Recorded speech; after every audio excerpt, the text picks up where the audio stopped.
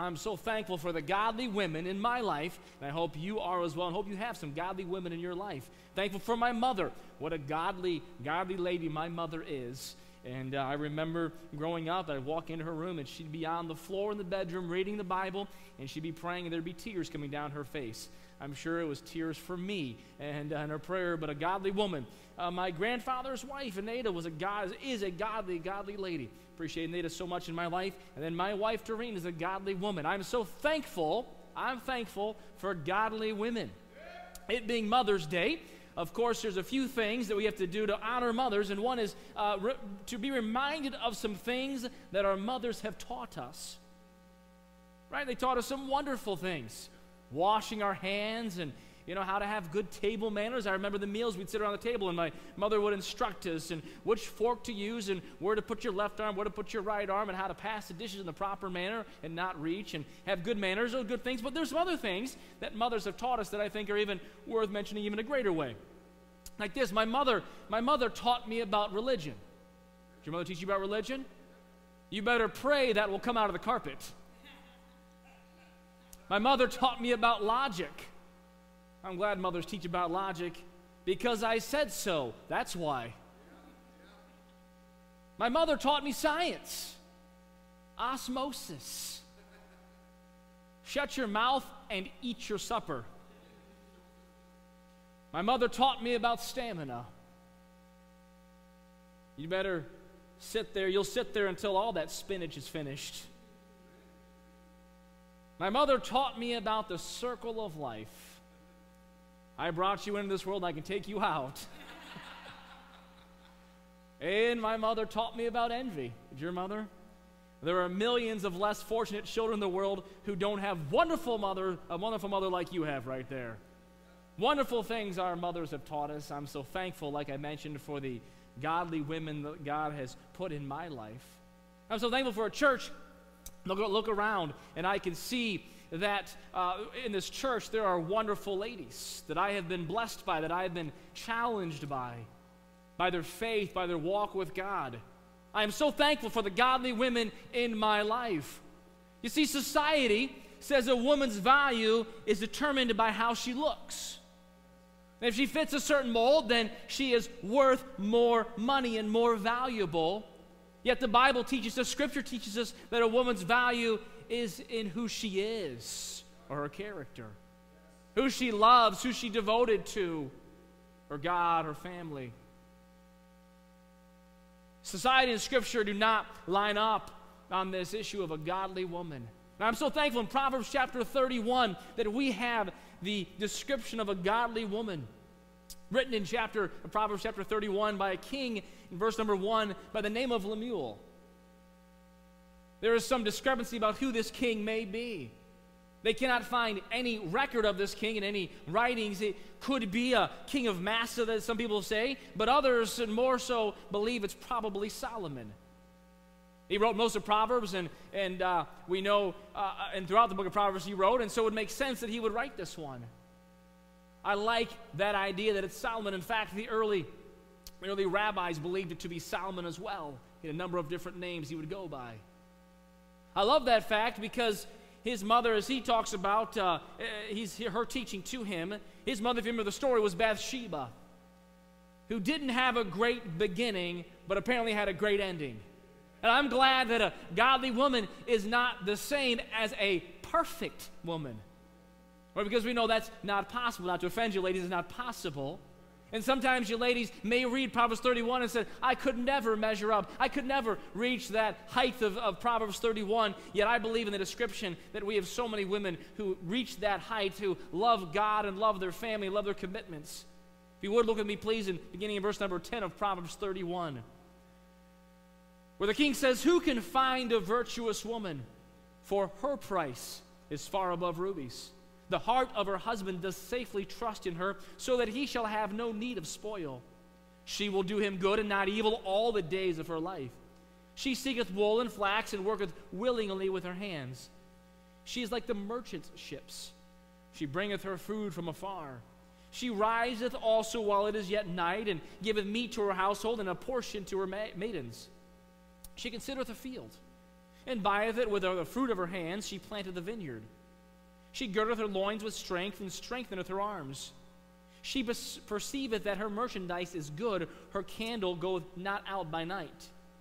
She layeth her hands to the spindle, and her hands hold the distaff. She stretcheth out her hand to the poor, yea, she reacheth forth her hands to the needy. She is not afraid of the snow for her household, for all her household are clothed with scarlet. She maketh herself coverings of tapestry, her clothing is silk and purple.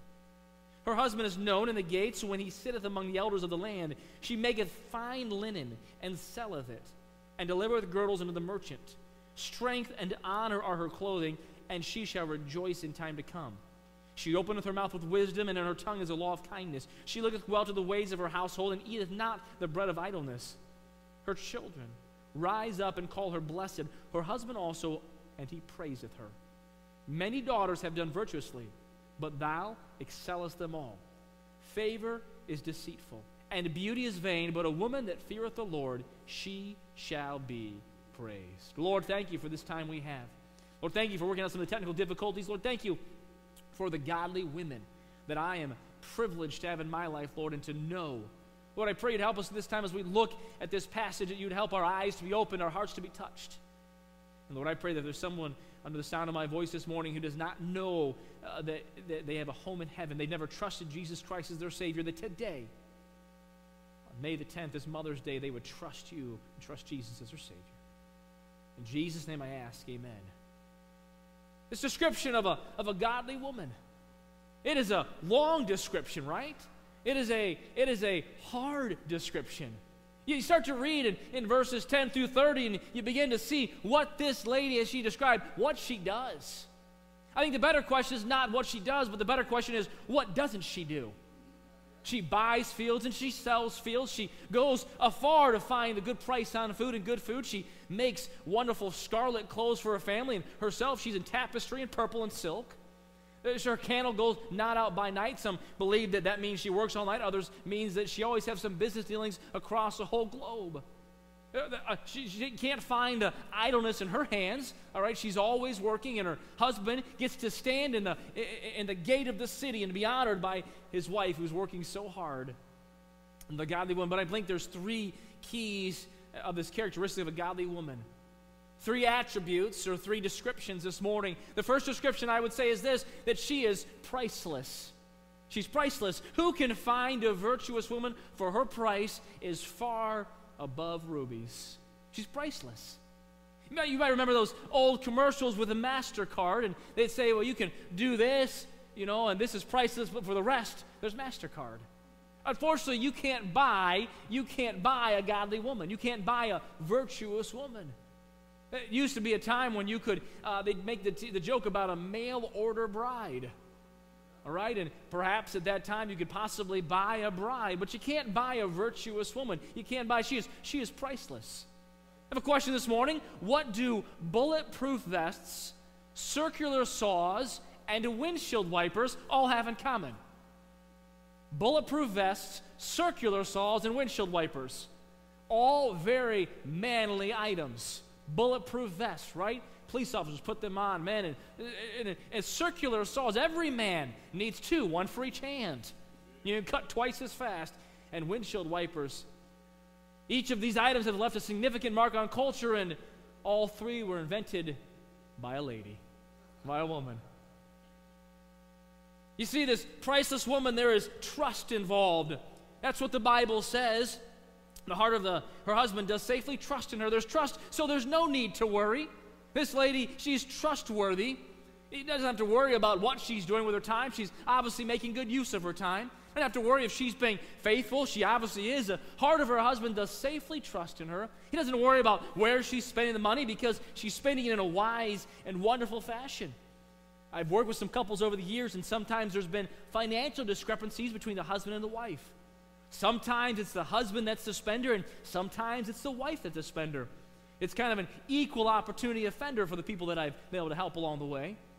And uh, I don't know what it'd be like because my wife's not this way to have a to have a wife, have a lady in my life who just spent money without any regard for anything else happening. I could see how that could be a problem. I don't have that. I'm thankful for that. I have trust in her. I trust when she goes to the grocery store, she brings back things that are good for the family. And if she buys herself something, I'm fine with that. She knows our finances. I have trust in her. I don't worry about what she's doing when she's cooking. So far, she's not burned the house down yet. That's a good thing.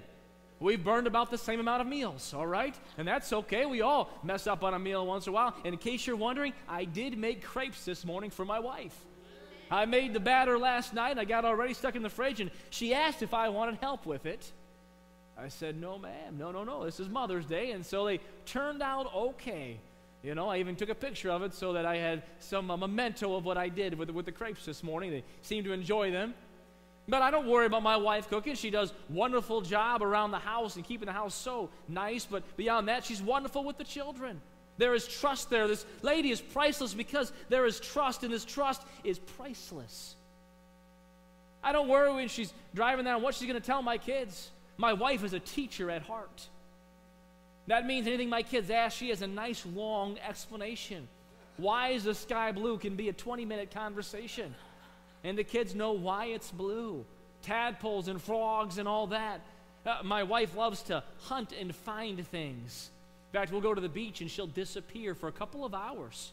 And she will come back with the, with the strangest animals that she has found that I would never see. I mean, there was one time there was a story told about my wife that when she was in college, she caught, uh, she caught a fish.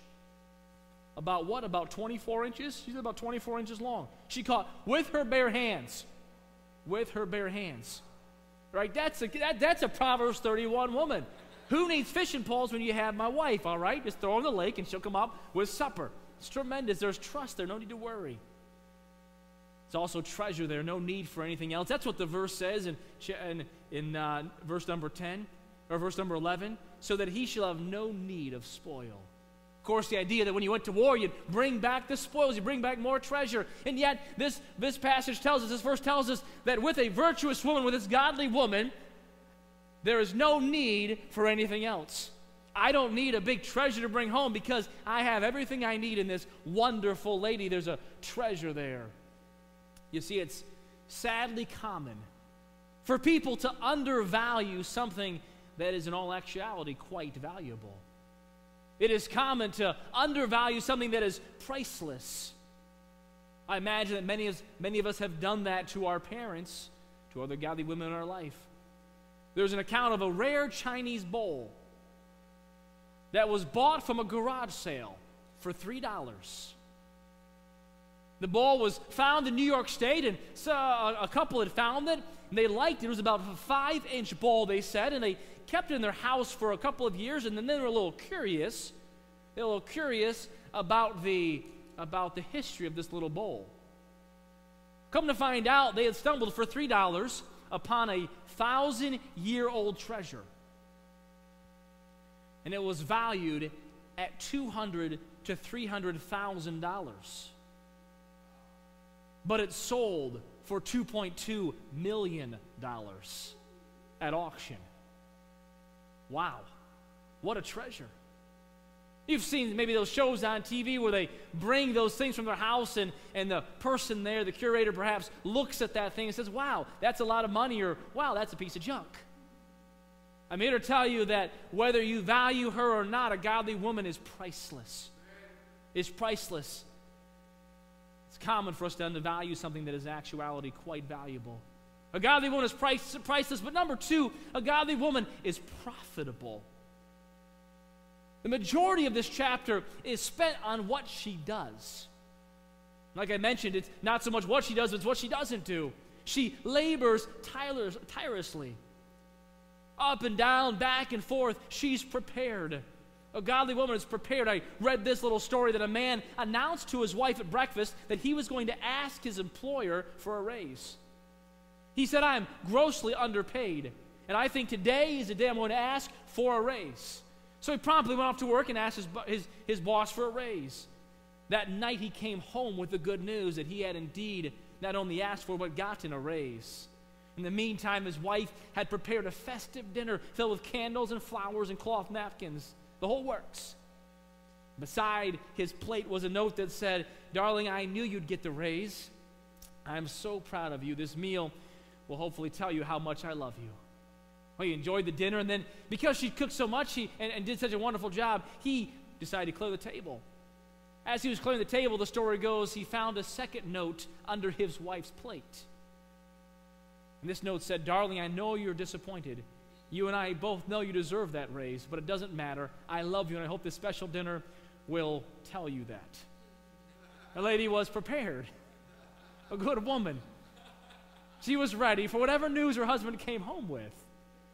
If he hadn't cleared table, he never would have known. I, I know that a, a godly woman in this chapter, she labors tirelessly. I think back to growing up in my house with six other brothers and sisters, seven of us kids, and all the time that my mother spent. I see now during this, this pandemic where my wife is helping our kids study at home at the same time teaching her class at Sherwood Elementary. She labors tirelessly. And she does it with such a sweet and wonderful spirit. She always seems to be prepared. Supper's always there. My clothes still magically appear in the drawer. It's an amazing thing. I live in a magical house. See, this woman, she's profitable, labors tirelessly, and loves selflessly. In fact, I only see one little verse that talks about herself where it says she is clothed in purple and silk or tra- and, and, and tapestry. Everything else seems to be done for everyone else. And that is one of the marks of a virtuous woman where they love selflessly.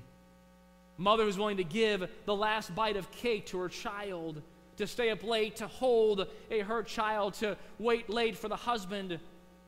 You see, this godly woman has no thought for her own gain. She has thought for what he is, she has been called to be.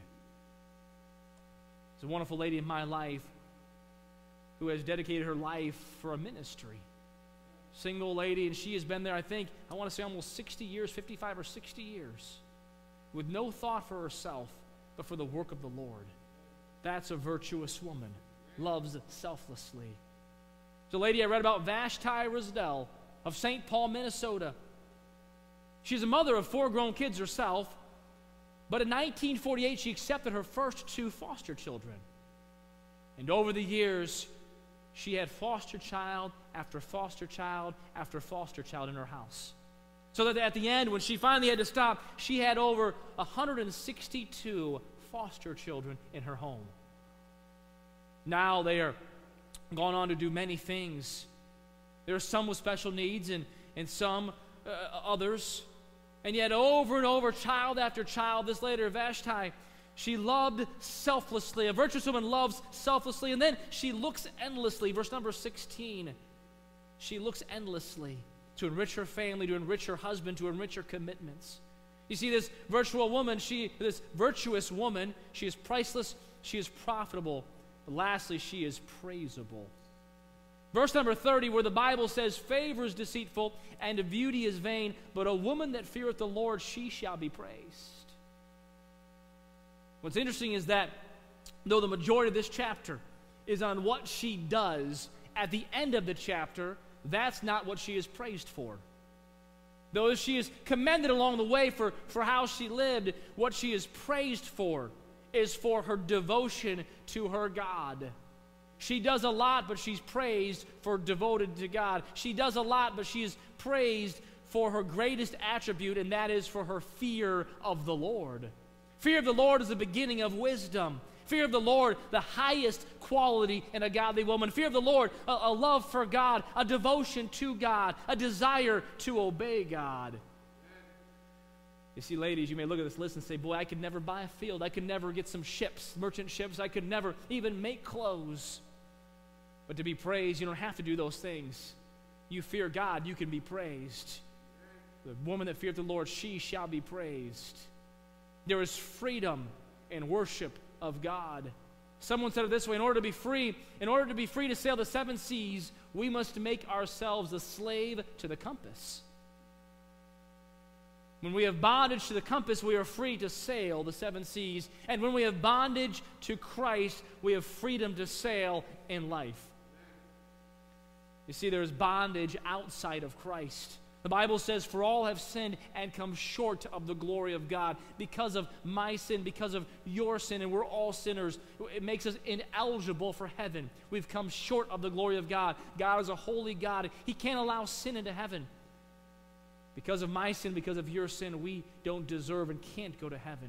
For the wages of sin is death. Some people want to say, well, you can pay for sin if you're really good, and one day when I die, I'll, I'll stand before God and He'll weigh my good and my bad. The Bible doesn't teach us that our deeds will be weighed good and bad in order to go to heaven. The Bible says, for the wages of sin, the payment for sin, is death. Others may say, well, Pastor, I got baptized, so I'm going to heaven, but the Bible doesn't say the wages of sin is baptism. And yet others, well, Pastor, I'm a member of this church, so I'm going to heaven. And the Bible doesn't say for the wages of sin, the payment for sin is to be a member of a church. The Bible says, for the wages of sin is death. The Bible tells us that God commendeth, He showed His love toward us, and that while we were yet sinners, Christ died for us. And while the wages of sin is death, the payment for sin is death, Jesus paid the price for our sin. Jesus lived a perfect life on earth, never sinned a single time. Then he went to the cross and he died on the cross. He died on the cross not to pay for his sin, he was sinless, but to pay for your sin and for my sin. Because he was sinless and holy, he could pay for someone else's sin. And because he is the Son of God, he could pay for everyone's sin. The Bible says, and he is the propitiation for our sin, the payment, the substitution for our sin, and not for ours only, but also for the sins of the whole world. The wages of sin is death. But the gift of God is eternal life through Jesus Christ our Lord.